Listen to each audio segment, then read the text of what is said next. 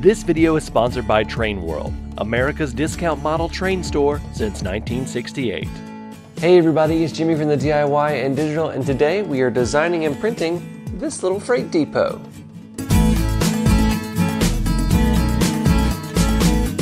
Welcome back everybody. First of all, go ahead and hit that subscribe button so that you don't miss any updates like this video. This video is brought to you by Train World. You can check them out online at trainworld.com. They're America's discount model train store since 1968. They're doing a lot of cool things right now, including a lot of virtual train shows with some of the big manufacturers. You definitely want to check them out. Okay, so let's get to what we are doing today. So I did another poll for the next three buildings I'm gonna design on the YouTube channel and the number one of those three was a freight depot and I decided to go a little different. I decided to go for something more in the 1930s to 50s, maybe a little earlier, maybe a little later era. I know I've done a lot of modern buildings um, typically, but I wanted to design something that is actually in more of the golden age of railroading. So here it is. Let's go ahead and hop into Tinkercad and get this thing designed. I start as usual researching Google Images to get the base of what I want. I then make sure I have the proper dimensions for my print base just as a double check. I then grab a cube and make it the basic size of the building, with a little math along the way for accuracy.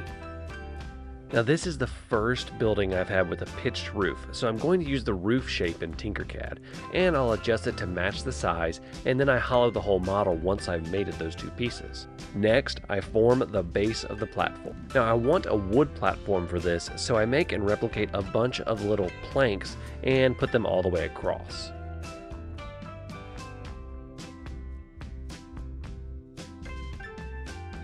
I then bring in my brick texture, which is something you have seen me use in a lot of models in the past. And I begin to carve out the bricks.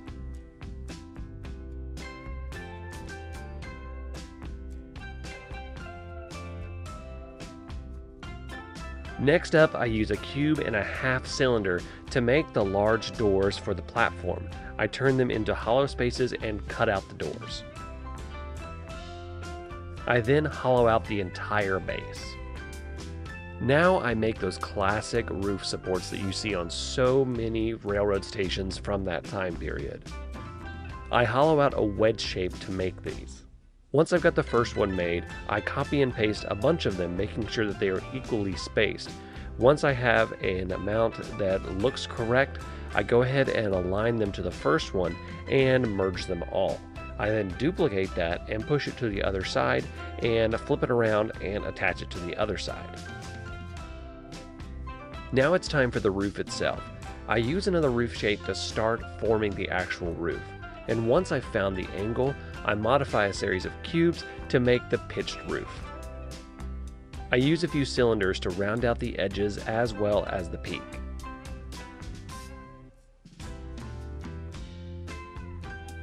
Next, I cut out a freight door for the other side so that deliveries can bring stuff in, such as backing in a truck or anything like that. I also cut out some windows and a regular size door. Now it's time to create a loading ramp for the side where things will be brought to the station to be placed on the train. I bring the print guide back in to make sure I don't go over the size of the print bed. Now I go ahead and make the freight doors.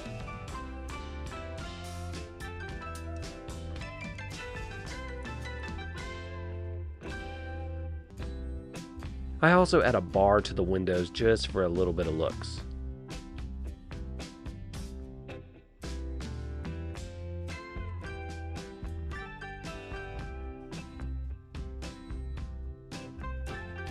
I then go to make another loading ramp for the platform where stuff is being loaded and unloaded from trains.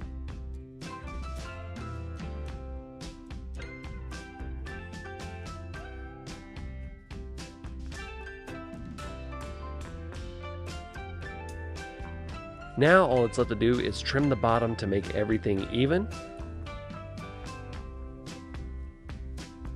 And I can go ahead and export it and prep it for print.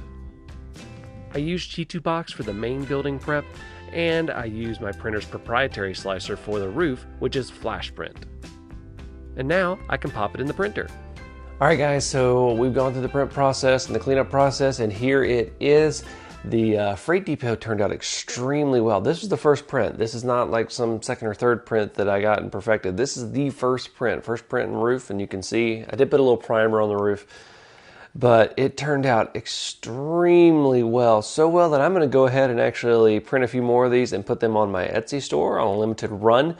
So they're going to be $12. Um, they just turned out so well. The the roof supports turned out well. The doors, the brick, uh, the loading platform. You can see the uh, wood texture on it really really well. Um, so twelve dollars on my Etsy store. I know you guys have been begging for industry, so this is my first uh, industry on the Etsy store. So there you go. Uh, speaking of industries, um, I decided to put up not one but two today in N-Scale. So I'm also doing a small fuel dealer, which you've actually seen me design some of the parts for in a previous video. It's a variation of the one that's on my layout right over here. So that's going to be on sale for $12 as well in my Etsy store. So you can go ahead and check that out in the link in below.